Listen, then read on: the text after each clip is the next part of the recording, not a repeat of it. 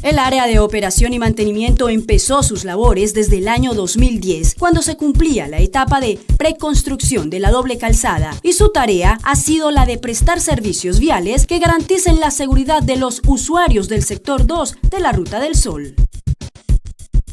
Empezamos con la operación y el mantenimiento de la concesión. Para esto empezamos a operar los peajes, también empezamos a hacer los programas de intervención prioritaria sobre el pavimento. La concesionaria también cuenta con servicios conexos básicos como grúa, carro taller, ambulancia, policía de carreteras, servicios de inspección y el Centro de Control Operacional CCO.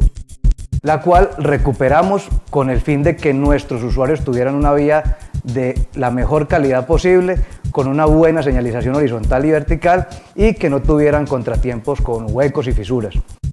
Estos servicios son gratuitos y se prestan las 24 horas del día durante los 365 días del año. Eh, es así como se ha bajado la cifra más o menos a eh, en un 25-30% en nuestro corredor, que es un corredor muy largo de más de 528 kilómetros de longitud. Para el 2015 se tiene planeado implementar el sistema inteligente de tránsito que garantiza la comodidad y la seguridad de los usuarios que transitan por la carretera. Vamos a tener cámaras sobre el corredor vial, vamos a tener también nuestras áreas de servicio. Ya implementamos la de Morrison, posteriormente iremos implementando una a cada lado al lado de cada peaje son cinco años de la concesión, cinco años construyendo la obra vial más importante de Colombia. Cumplimos, cinco años cumplimos.